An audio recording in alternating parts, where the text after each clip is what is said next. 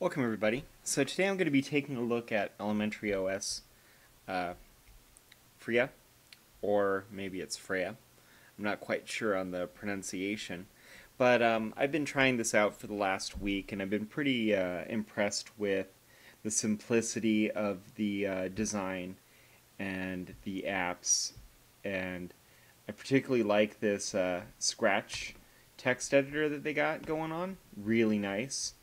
Um, I'm a big fan of their their um, shortcuts and keystrokes. Um, how you manage the workspaces is really cool. Let me see here if I remember the keystroke combination for moving it over. Yes, I do. So, so I've been um, pretty happy with this. Midori is a wonderful lightweight uh, web browser that I, I really love to use.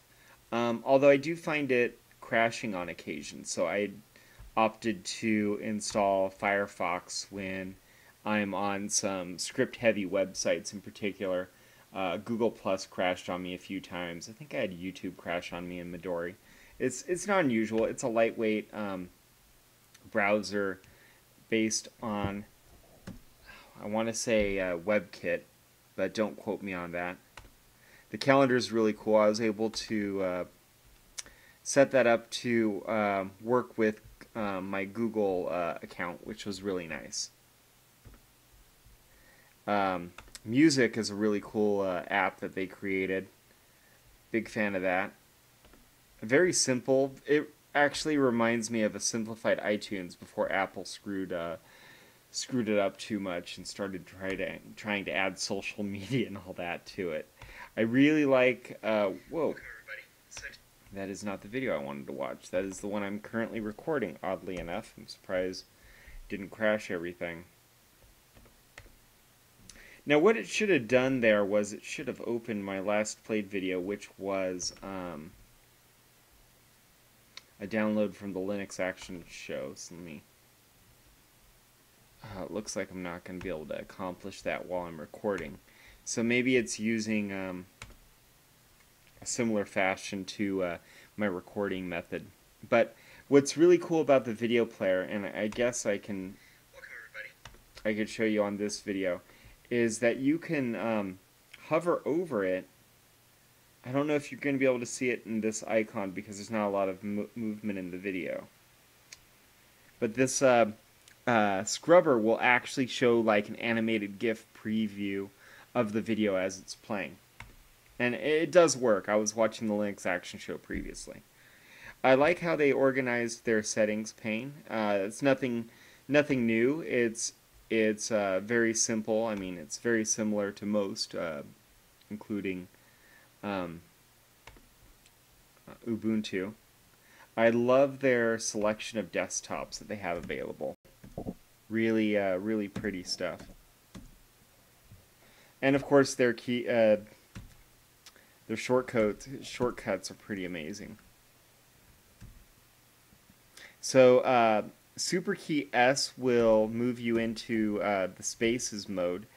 Uh, Super Key W will show you all the windows on that desktop. Um, Super Key Spacebar will bring down the Slingshot. I believe that's what they call their launcher where you can uh, type in an app name or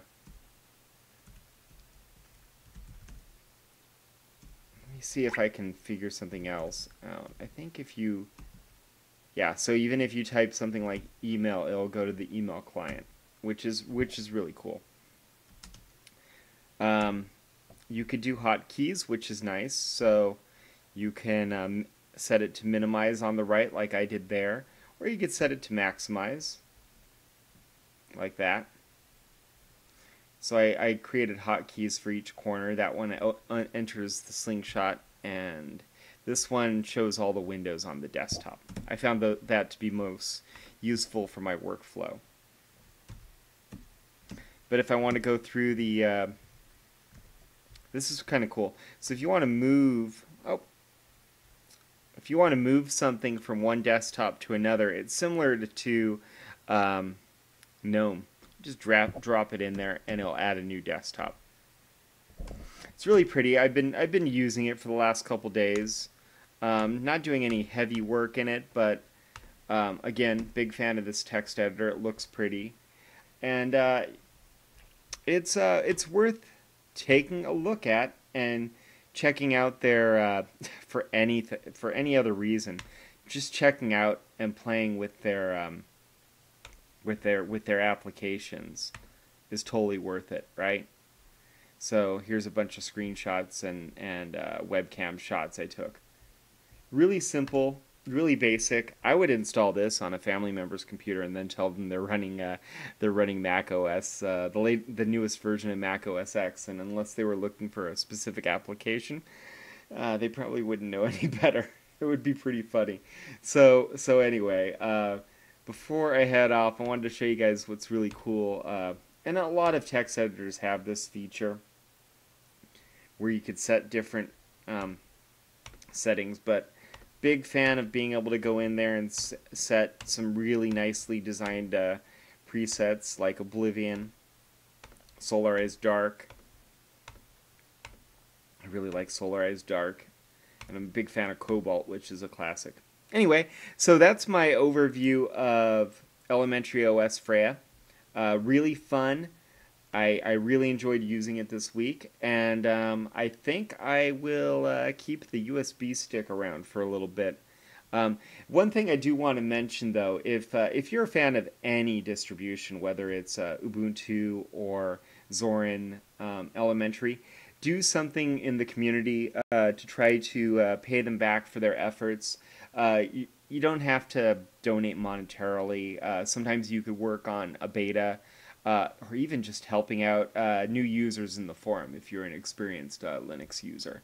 Um, and it's a great way to build uh, a positive um, community around the distribution, and uh, it and with Linux.